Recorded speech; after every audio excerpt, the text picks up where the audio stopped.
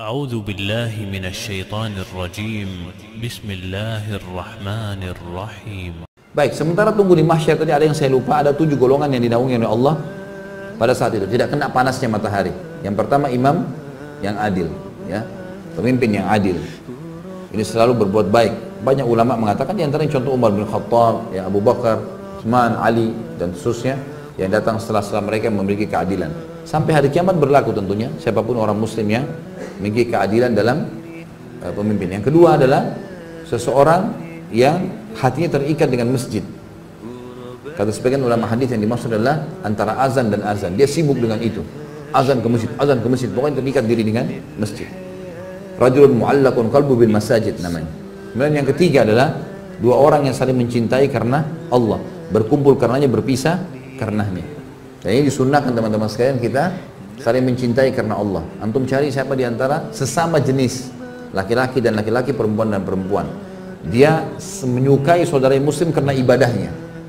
Karena luar biasa ibadah sholat malamnya, majelis ilmunya segala macam. Dia datang dan sunnah mengatakan saya mencintai kamu karena Allah. Lalu dijadikan sebagai sahabatnya yang selalu dia komunikasi setiap hari. Jadi kan partner di mana pun dia pergi.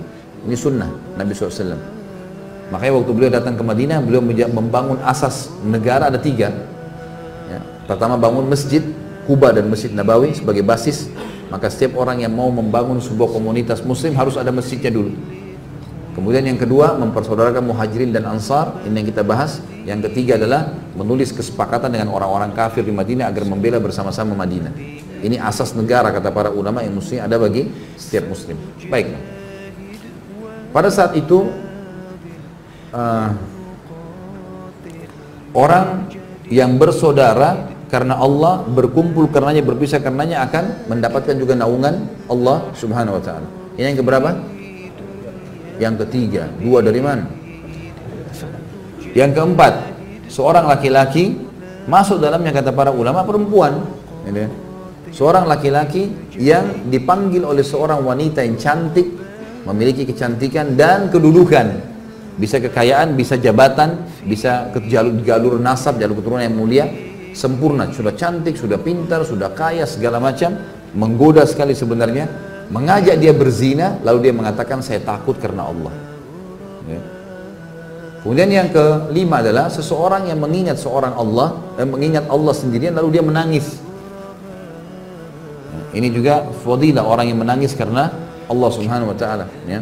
Makanya dalam hadis lain dikatakan tidak akan tersentuh api neraka dua mata yang dia menangis karena Allah. Jadi dia lagi sholat malam, dia ingat dosanya, dia bertobat sama Allah, dia ingin masuk surga, minta surga, dia ingin minta diberkahi, minta diselamatkan dan seterusnya adalah orang-orang yang jelas masuk di sini. Ya. Kemudian yang keenam adalah orang yang berinfak dengan infak atau sodok yang dia keluarkan dengan tangan kanannya sampai tangan kirinya tidak tahu. Tentu kata ulama hadis ini dimaksud ya, kina ya dalam arti kata tangan kanan tangan kiri kalau kita keluarin ini saya kasih marwan air tetap aja tangan kiri ada di sebelah saya tapi ini gambaran, artinya kalau tangan kirinya tidak tahu, maksudnya adalah orang lain. Kalau tangan kiri tidak tahu, apalagi orang lain. Saking dirahasiakannya dia. Sodaka itu dirahasiakan. Itu akan masuk bagai orang yang dinaungi nanti. Jadi dia suka bersodaka. Ini fadilah orang yang bersodaka. Tapi dirahasiakan.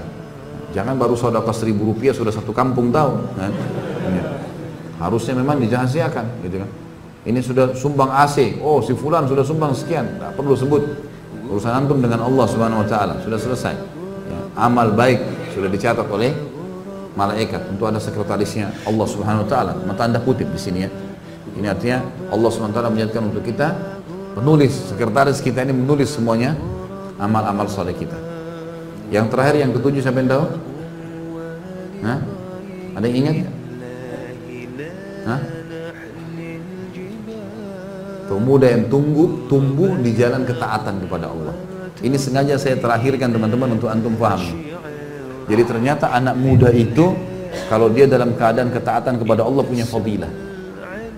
Kalau antum pernah melalui masa-masa ada dosa teman-teman sekalian, jangan wariskan ke anak-anak. Biarkan dia tumbuh dalam ketaatan. Kalau kita baru bisa baca Quran di umur 20 tahun, 25 tahun, 30 tahun, teman-teman anak kita harus hafal Quran di 6 tahun. Target harus berubah. Ini punya fadilah sendiri. Jadi anak muda yang tumbuh dalam ketaatan Allah sampai kata Nabi SAW dalam hadis lain, Inna Allah yu'jubu min syabin laysa lahu sabwah. Allah kagum dengan anak muda yang tidak ikuti hawa nafsunya. Allah Azza wa Jalla pencipta kagum dengan orang ini. Dan anak muda, kata ulama, masuk dalam hitungan syariat 40 tahun ke bawah. Ada sebagian menyebutkan 50 tahun ke bawah itu masuk semuanya dianggap anak muda, masih muda, di kalangan muda gitu. Makanya para nabi-nabi dinobatkan menjadi nabi umur berapa? 40 tahun, gitu kan?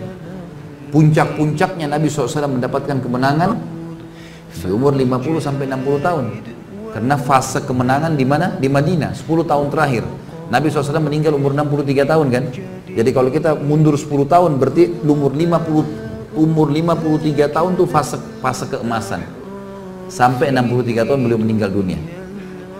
Kalau dalam ilmu tarbiyah disebutkan bahwasanya kejiwaan maksudnya, ya, tapi di dalam agama pandangan agama ya, itu dibagi fase-fase semangatnya orang per 20 tahun.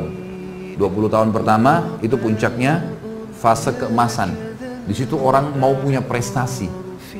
Umur 20 tahun kedua berarti 40 tahun. Itu fase di mana orang mengejar sebuah prestasi. Apa ini? Saya harus jadi apa? Yang ketiga fase 60 tahun. 20 tahun yang ketiga. Ini puncak-puncaknya juga orang mengejar. Biasanya umur-umur 60 tahun itu kalau orang biasa di akademik, dia berusaha mengejar prestasi tertentu. Karya tulis kah, gelar profesor kah, apalah ya. Seperti itulah. Ya. Jadi dia mau pengen punya prestasi tertentu. Yang jelas teman-teman sekalian, di sini yang terakhir adalah anak muda. Dan bersyukurlah kita karena ada pendapat ulama yang mengatakan 50 tahun ke bawah. Masih dihitung berarti dengan kita menjaga ketaatan pada Allah di umur-umur kita sekarang insya Allah kita termasuk di dalamnya. Gitu kan? Maka ini poin penting teman-teman sekalian. Tujuh orang ini tujuh naungan ini tujuh orang ini dapat naungan Allah di mana naungan tidak ada naungan kecuali naungan Allah pada saat itu.